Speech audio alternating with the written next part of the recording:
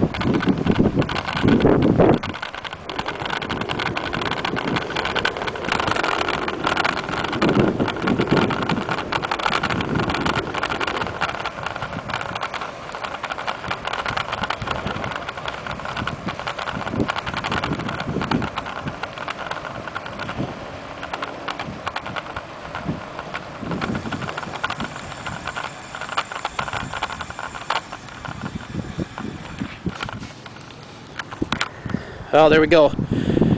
There's lap two, 28 to go, right? I don't know, it's uh, 0.235, so quarter mile track, almost quarter mile track. I don't know how many laps I'll do tonight, but hey, the sun's up. So we're gonna keep going.